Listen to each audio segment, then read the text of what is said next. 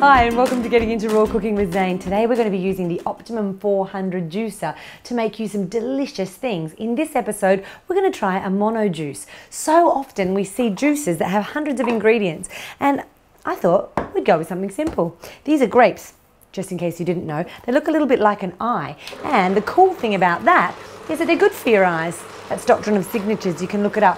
What I'm going to do is feed the grapes through the top feed chute of the Optimum 400 juicer and what you'll notice will happen, pulp will come out this side and grape juice will come out the other side. And we just keep feeding until we get as much juice as we would like. So this is an easy and fun one. Um, this is good for you and for the kids. You can do it with the cold grapes like I'm doing, but another great tip is to freeze the grapes. And then you can eat what comes out the pulp section, a little bit like a sorbet. I've popped in enough to make at least one glass of juice. I'm going to serve that up in a pretty glass. Do you know everything tastes better when it's in a pretty glass?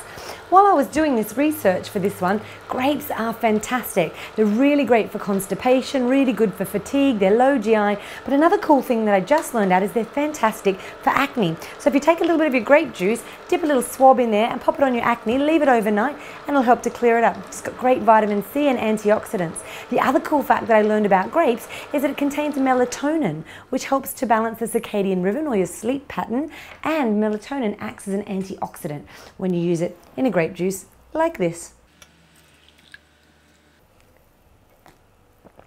Yum. Well, that was an easy one. What are some mono juices that you like? Write down in the comments below, we'd love to hear. And if you like this video or would like to see other ways of using the Optimum 400 juicer, don't forget to like the Froothie TV YouTube channel or make a note for what you'd like to see us do in a future video. Ciao for now.